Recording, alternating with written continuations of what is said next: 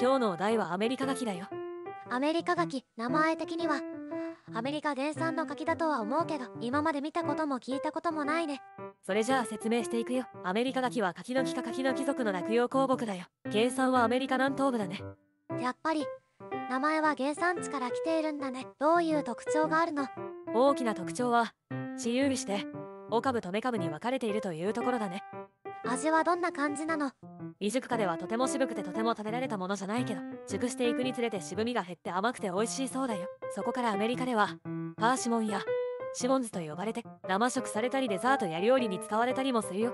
未熟で渋くてそこから甘くなるのは普通の甘柿と同じだから原産のアメリカの甘柿って認識で良さそうだね。